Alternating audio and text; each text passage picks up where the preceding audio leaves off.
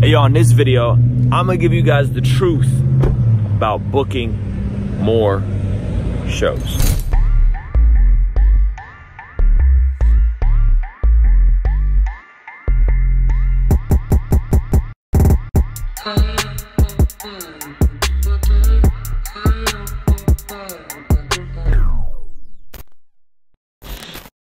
Hey, what's going on, guys? My name is Ruslan. I am a hip hop artist, creative entrepreneur based in beautiful San Diego, California. It's a little overcast right now, so I guess it's not that beautiful. I am doing VEDA, which is vlog every single day in April. I'm gonna be releasing content every day. Yesterday, I did a video about three ways to break writer's block. And so today, I'm gonna address actually a comment from yesterday's video that asked me about booking more shows, booking more shows. You guys aren't gonna like this answer uh, because booking shows isn't what you think it is. Here's what I mean. We see a lot of people on tour. We see a lot of people doing their thing. We're trying to figure out, yo, I'm an independent artist. How can I book some of my own shows? And the truth is, most times you're not ready yet. That's the unfortunate truth is you're not ready yet. You're just starting out. You're not ready to perform. You're not ready. You don't really have a demand. And I don't mean to oversimplify but most of what we're dealing with in the music industry is about supply and demand. Most of what we're dealing with in the economy is about supply and demand. Do you have a demand for your services? Do you? Probably not yet. And a lot of times folks that are coming up in the Christian space, they are kind of inflating demand because you have a lot more shows if you're a Christian artist, CHH artist, gospel artist that have built-in audiences, meaning the audiences aren't even um, they're not really paying money to be there. It's a youth group, it's a young adult group, it's a church service. So that's the reality. And so how do you build demand, right? That is the question. Well, guess what? Nowadays, you guys have the internet. You can build your Spotify monthly followers, your Instagram followers, you can build Facebook likes, you can build Twitter followers.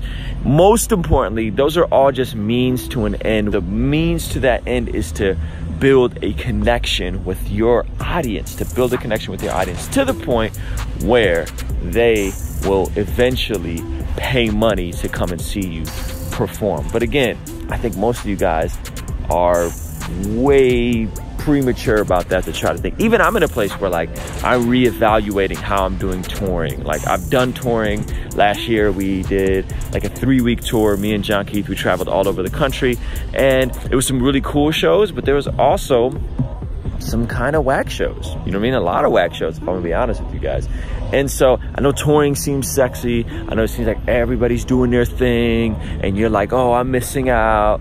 But that's that's that's a part of the grind. So my advice to you guys, how to book more shows is first, try to even understand what shows are. Shows and touring in a real world capacity is about hard ticket sales. Do people want to pay money to see you perform? Probably not. But some markets, maybe they do. So you could look at your top cities on uh, Spotify, where you got your most monthly listeners. And maybe if you have uh, 10,000 people that listen to you regularly in Dallas, maybe you can convert uh, 2% of those people and 200 people can show up for a show. By the way, that's about on par with what most people end up doing is, is anywhere from 2 to 10%. And even those numbers can be inflated if you're getting playlisted a lot. So I think we have to understand like what touring is. Now, here's some practical alternatives and I'll leave you one point on if you are getting requests for shows, if you are getting hit up, maybe you got some clout, you got some buzz,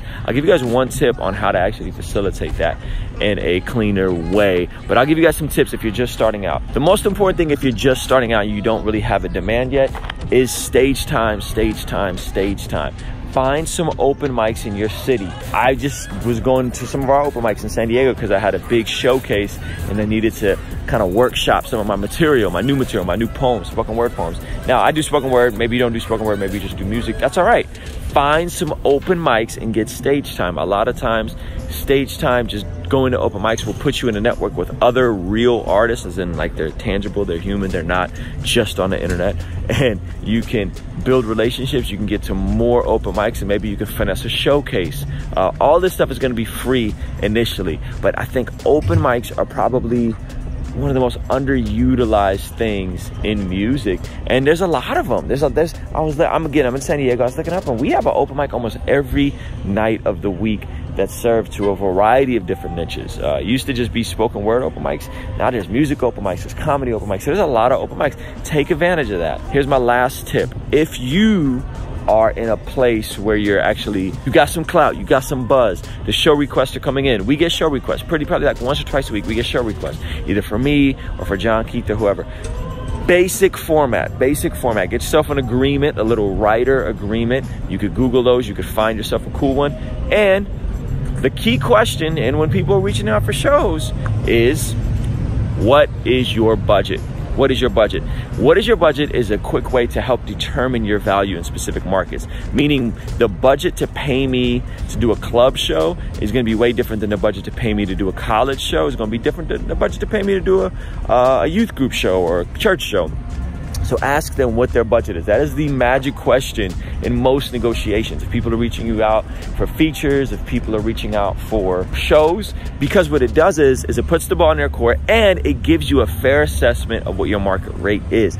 If all of a sudden you're getting hit up for shows, you ask what the budget is, and people are like, yo, budget is a thousand dollars, and you're like, oh, I would have never charged a thousand dollars, but that's the offer you keep getting. Well, now you know what your budget is in those specific niches, but don't get that confused with your hard ticket value.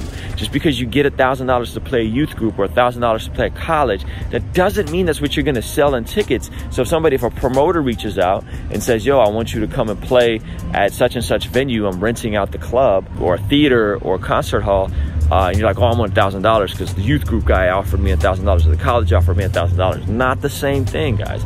Not the same thing. So, to summarize, to bring a full circle, my, my first point is if you're thinking about booking shows, it's probably premature. You really got to get your numbers up. You got to get your cloud up. You don't want to be doing a bunch of trash shows. And number two is utilize those open mics utilize those open mics. That's how you're gonna get better at shows. That's how you're gonna build relationships with your local community. That's how you're gonna really able, be able to connect with people. So to utilize the open mic scene, there's a lot of cool open mics all over the country. And if you're not in a city that has an open mic, yo, um, start your own open mic. What you worried about? Start your own, get it going. We've been doing open mics. I've hosted open mics, multiple, several open mics over the years. And number three is if people are reaching out and you do have your cloud up, the question is, what is your budget? That's gonna be a fair way for you to gauge what the budget is, what can they afford, and what your value is in that specific niche. But don't get it confused with hard ticket draw, with selling tickets. Don't get it confused. Now, this is what we do. You guys can go to kingsdreament.com forward slash booking. We have little forms. If anybody wants to book us for a show or just see our process, you can see the whole process. It's very simple. But something we're doing is we're going to be looking at consistently keeping an eye at our top Spotify cities, our top Instagram follower cities. Hopefully, Apple Music gives us access to their backend and we are going to use a website called Peerspace. Check it out. Where we're just going to book our own venues and throw our own shows. I've done this a couple times in Chicago. I've done this in LA. Here's the deal though.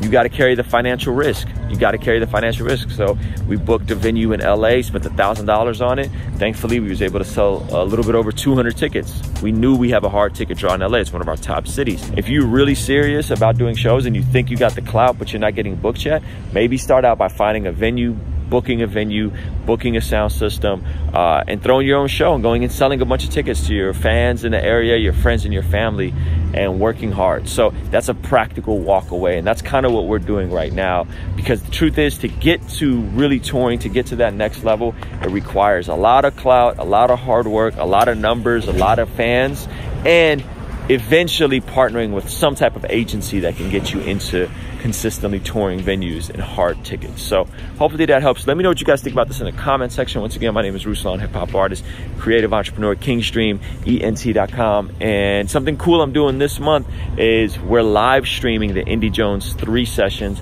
on Patreon. So if you're not a Patreon yet, that's how, you know, you get your music heard early on Fridays. You get to cut the line. Another thing that Patreon does is it gives you the opportunity to um, gives you the opportunity to get your music heard, gives you uh, give, gives you the opportunity to hop in a, a, Zoom call with me every Sunday night, and I'm daily streaming on YouTube, but it's an unlisted link on YouTube that goes to Patreon. You get to see all the behind the scenes, how I record my music, how I do everything. It's on YouTube through Patreon, only for Patreon, live streaming every single day on top of doing these Veda videos. Thank you so much for watching this piece.